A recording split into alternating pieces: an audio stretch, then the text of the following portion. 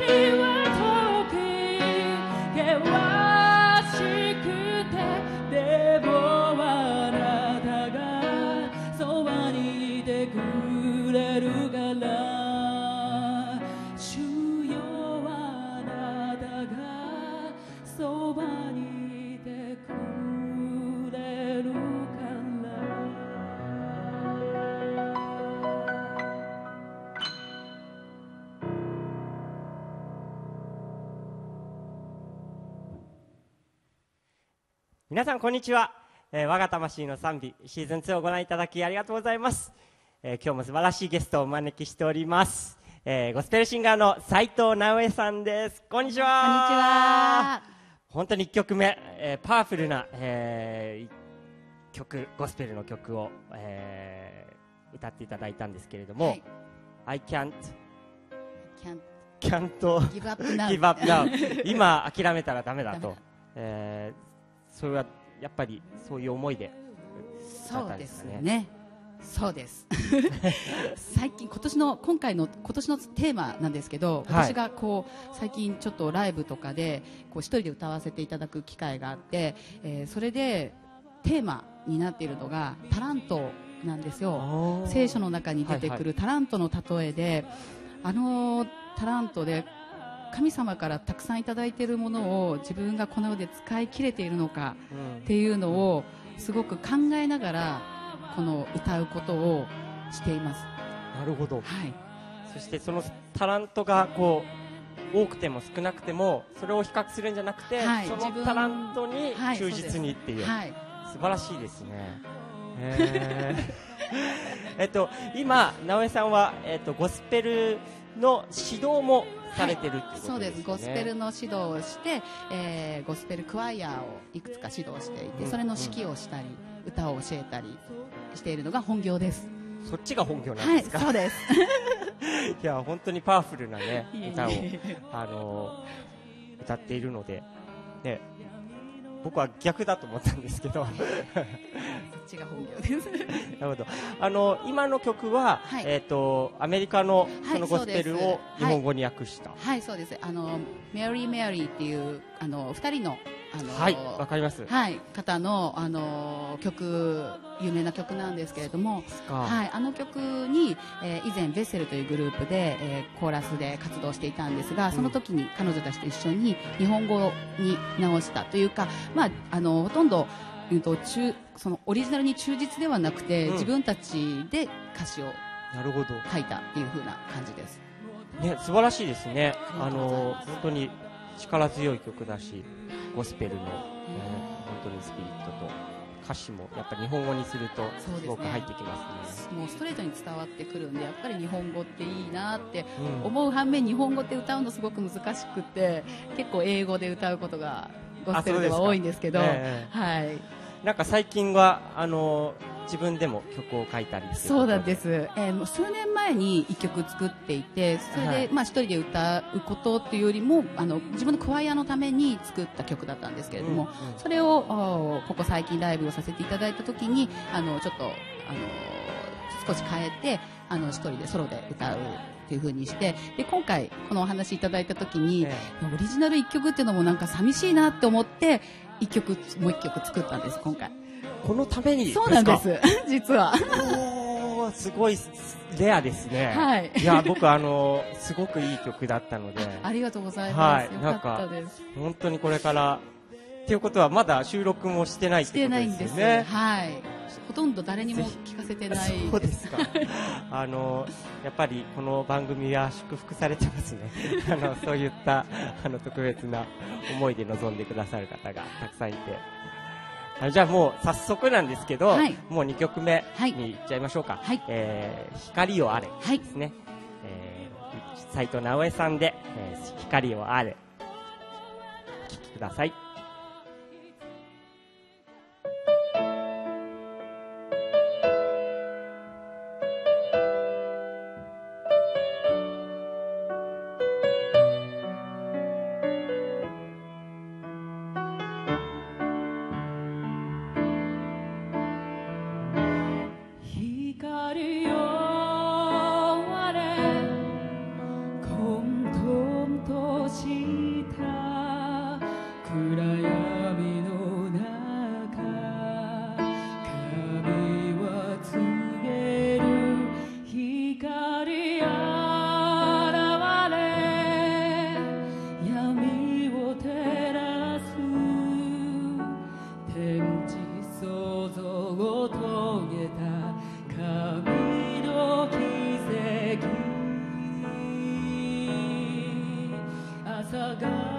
corner.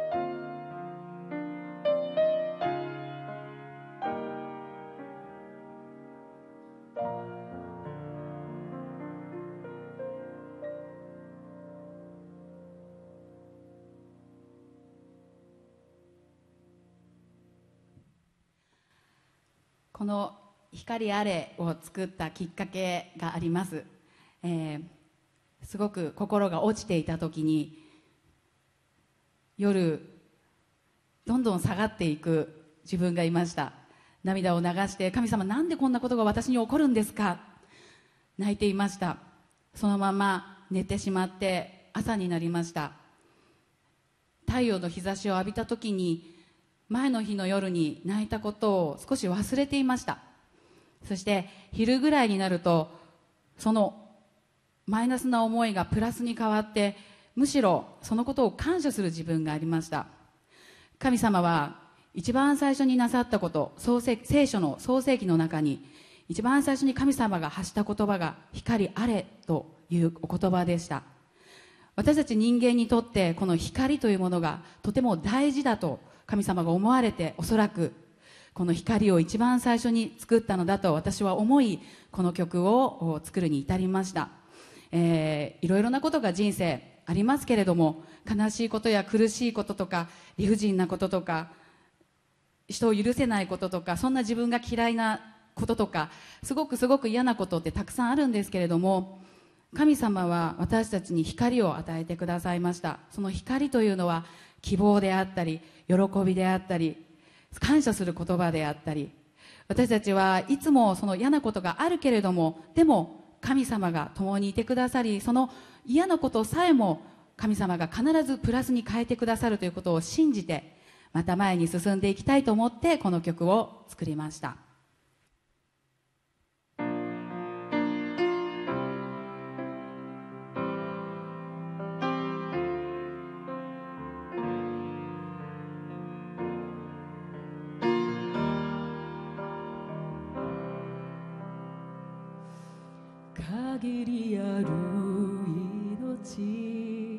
先が見えない道不安で孤独で何を信じたら誠の愛求めあてもなくさ。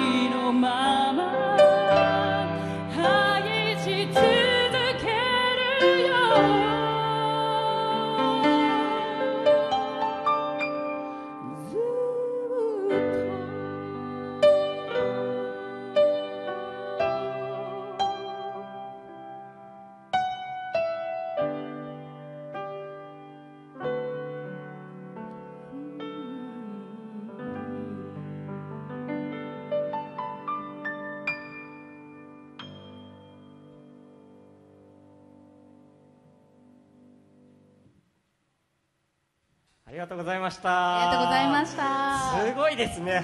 パワーすごかがったです。すごく気持ちよく歌わせていただきました。本当にあのゴスペルってなんだろう。適当に歌えないというか、そうですね。なんか本当にエネルギーを注ぎ込むっていうか。そうですね。流してる感じですかね。神様がくださるものを。はい、ゴスペルのその指導する時っていうのもやっぱりすごいあの、そうですね。パワーを使いますか？自分のすべてを使います。使いますよね。今指導されてる、はい。そのクワイアっていうのは教会の他にもそうですね。あの全部今のところ教会でやらせてもらってるんですけども、はい。自分の教会が茨城県にあるんですね、で主人の父があの開拓伝道をしていて茨城県でやっているので私住んでるところが大田区なんですけど、はい。毎週通ってるんですね。あそうなんですか。そうなんですはい。なんであのその教会で一つ教えてるのと、うん。あと小岩で教えててあと蒲田で二つ教えてて今4つグループを教えてるんです。4つって大変。ですね。しかもこれからクリスマスシーズンっていうと。そうなんです。いっぱいいっぱいイベントがあって、はい。えっと、大田区で、えっと、ゴスペル祭りっていうのをもう今年4年目になるんですけれどもそれを今代表をしていまして今大田区で78個クワイアがあるんですね。それをまとめて毎年一つのコンサートをしていますそれの準備とかあとクリスマスコンサートの準備とかが本当に今、ね、準備が忙しいですね。もうなんかわかります。はいね そうですよその大ね変さが、えー、じゃあ本当にそういうクリスチャンじゃないゴスペルクワイアとの接点もいっぱいあるってことそうですね。ねもうほとんどの今ゴスペルを歌ってる方の、まあ、多くは、う未信者の方そうでですすね。ねでもう9割ですね。9割未信者ですね。ねでもあの本当にその中で、えー未信者の人たちもこう分かるみたいなんです。やっぱり歌うと心がうん。嬉しくなったり、涙が出てきたりなんかカラオケとかでは味わえないものがうん。その中にあってだからその中で祈ることをみんなが当たり前のようにするようになってたりとか、ご飯食べる前にみんなでご飯食べに行った時にじゃあナポちゃん祈ってよとか、ねそういう何かあった時に個人的にメールをもらったりしてこういうことがあったから祈ってくださいっていうメールが来たり確実にそのゴスペルを通して神様の愛とか神様に祈ることをみんなが覚えていってる、それが習慣としてで彼女たちの子供たちにもまたそれがこう広がってるっていうのが今すごい嬉しいなっていうふうに思っていて。ねそれは。神様が働いてくださって、はい。そういうことと本当に日本にこのゴスペルというユニークなものを使って外国では考えられないあの外国では賛美を未信者が歌うなんてことは多分教会の中でももしかしたら厳しいとかは許されないかもしれないしあの歌うのも歌うこともしないのに日本はなぜか教会にあクリスチャンが少ないのにもかかわらずゴスペルを歌いにたくさんの人が教会に集ってくるっていうすごくミラクルが起こっていてね。それをあのぜひミラクルとして喜んで受け取ってこの日本が神様を知るために一つのツールとしてもっとゴスペルをこう受け入れていただけたらすごく嬉しいなというふうに思います。あのそのクリスチャンじゃない方に、はい。あの伝えるときになんか注意していることがそうですね。はい、あの本当に結構クリスチャンでわーってこう賛美とかをしているとだんだんそのクリスチャン用語だったりとか、はい。このこの中の中枠の中でどうしてうんうん。もこう入りがちで熱熱くなりすぎてしまったりするとやっぱりノンクリスチャンの人がこう引いてしまったりすることがあるのでもうできるだけ誰にでも分かるようなスタンスでいつも接してますしいつも歌う時も指導する時もみんなが分かるようなみんなが受けるようなギャグを言ったり なるほど。そういうとこもはい。配慮してるんですね、なんかあのあの教会の外で、はい。なんかライブとかもねそうなんです。今年はその友人のゴスペルシンガーがいるんですけれども、はい。その友人に誘っていただいてあの飯田橋と六本木のあのライブハウスでジャズライブハウスっていうんですかね。そこで。六本木の時にそうなんですよ、えーが突然いてびっくりしましたけれどもすごいああいう場所でね、まあ本当にお酒を飲むというかね、はい。そういうところででも福音をダイレクトにはい。伝えてた。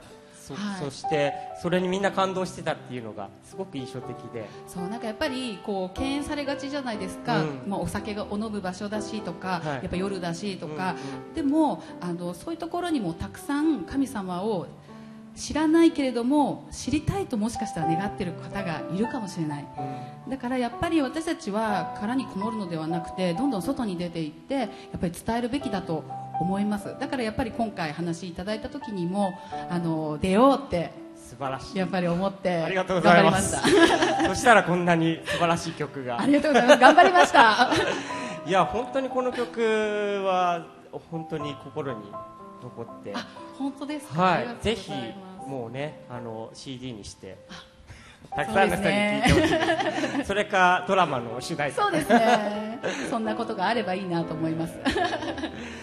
あのこれからの、はい。まあ、活動のビジョンっていうのは、あの何か具体的にはありますか？そうですね。もう本当にもう手前にあるものをいつもこう片付けてる状態なんですけれどもでも今ゴスペルクワイアで言ったらやっぱり大体いつも一つ幻を大体見せられてそれに向かってみんなにその自分のこういうビジョンをみんなにこうシェアしてそれに向かってみんなで頑張っていくでコンサートを作っていくっていうのが今までなんとなくそんな感じだったんですね、はいはい。であのー今子供が2人いるんですけれども自分の子供たちがだいぶ大きくなってきて上の子がもうすぐ中学生なんですね。そうですそうなんかです来年中学生なんです。じゃあお母さんなんですね。そうなんですよ。お母さんなんですね。なので子供たちがだいぶ手が離れてきて、うんうん。やっぱり自分と向き合う時間がすごく増えてきたのであの神様に祈ってやっぱり最近こういう歌う仕事が、うん。あのちょっとちょっとずつ出てきたのであのゴスペルディレクターという仕事もすごく恵みがあって素晴らしい仕事なんですけれどもあの歌うということもまたできたらいいなと思いながら祈っていきたいと思います。ぜひ、はい。ぜひぜひ、はい。ソロシンガーとしてもね、はい。あの活躍を期待してます。えっと最後になるんですけれども、えー皆さんに聞いてる質問があって、はい。えー、直江さんにとって賛美とは？一言で言ったら何ですか？そうですね。神様がくださったプレゼントですね。私賛美っていうのはもともと神様に捧げるものなんですけども、ええ。私はこの賛美することを通してたくさんのものをいただきましたので、で多くの人がおそらくそうだと思うので神様がくださった人類へのプレゼントだと思います。うわー素晴らしい。素晴らしい言葉ですね。あー本当はありがとうございました、はい、ありがとうございました。これからも頑張ってください。ありがとうございますえー我が魂の賛美をご覧にいただいている皆さん本当にいつもありがとうございます、えーこのように、えー斉藤さんのような、えーゴスペルシンガー、えー本当に一般のクワイアの中に出ていってえ神様の愛を伝えていることを本当に、えー嬉しく思います。これからクリスマスに向けて、えークワイアもですねいろんなまた教会も忙しくなるかと思いますけれども、えーぜひ皆さん本当にさ神様が与えてくださった賛美のプレゼント、えーそれを本当に大大事に、えー心に留めながらイエス様の、えーご生誕をお祝いしたいと思います。それでは次週また我が魂の賛美シーズン2でお会いしましょう。ありがとうございました。ありがとうございました。